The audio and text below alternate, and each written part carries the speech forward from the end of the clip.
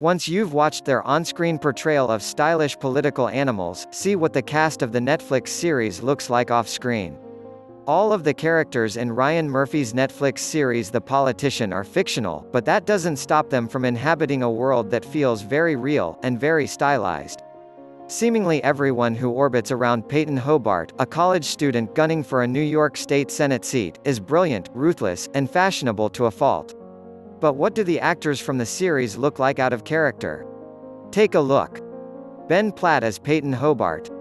In the first season of The Politician, Payton, a rich kid with impressive ambition, was running in an election at a swanky LA high school. This season, he's relocated to New York, a move familiar to LA native Platt, whose big break came care of his starring role in Dear Evan Hansen on Broadway.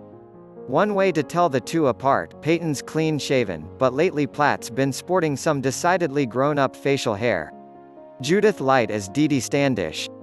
State Senator Standish is a longtime political pro in Albany, and she's eyeing an even bigger office until Payton comes along to challenge her.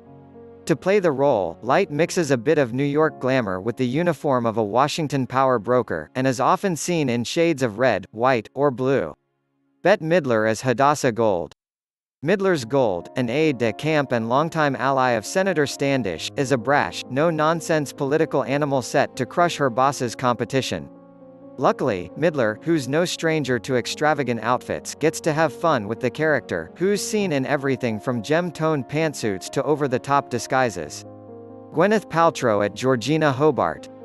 In The Politician's first season, Payton's mother is portrayed as an artsy, rich champion of her son's ambition.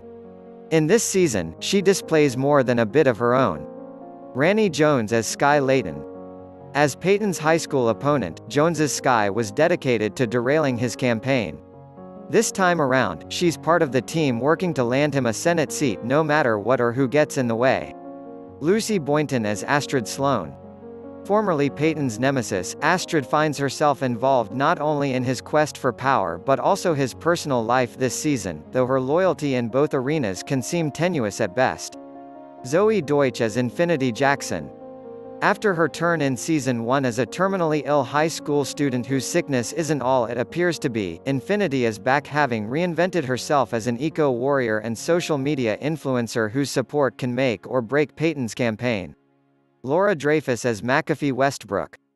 McAfee has been by Payton's side since his high school election, and her role in this season's race is just as important, but she struggles with whether giving everything to her professional life is leaving her personal life a bit, shall we say, underdeveloped. Theo Germaine as James Sullivan. As the brains behind many of the show's more impressive schemes, Theo has been an indispensable part of Team Hobart. His patience and loyalty are tested amid the second season's antics, however, and he's left to wonder how much he's willing to give in service of someone else's dreams. Thank you for watching our video. Was this video informative for you?